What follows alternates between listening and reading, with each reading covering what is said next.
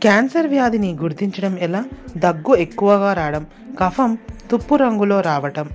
మూడు నాలుగు వారాల పాటు జ్వరం ఉండడం ఉన్నట్టుండి గొంతు మారడం మల మూత్ర విసర్జనలో మార్పులు జరగడం శరీరంపై నల్లటి మచ్చలు ఏర్పడడం పురిపి పులిపిరులు చుట్టూ నల్లగా ఏర్పడడం వాంతులు విరోచనాలు అవుతూ ఉండడం. వీటి వచ్చాయంటే ఒకసారి మీరు తప్పనిసరిగా పరీక్ష చేయించుకోండి. మరిన్ని ఆసక్తికరమైన విషయాలు తెలుసుకోవడానికి ఈ ఛానల్ని ఇప్పుడే పెద్ద సబ్స్క్రైబ్ చేసుకోండి.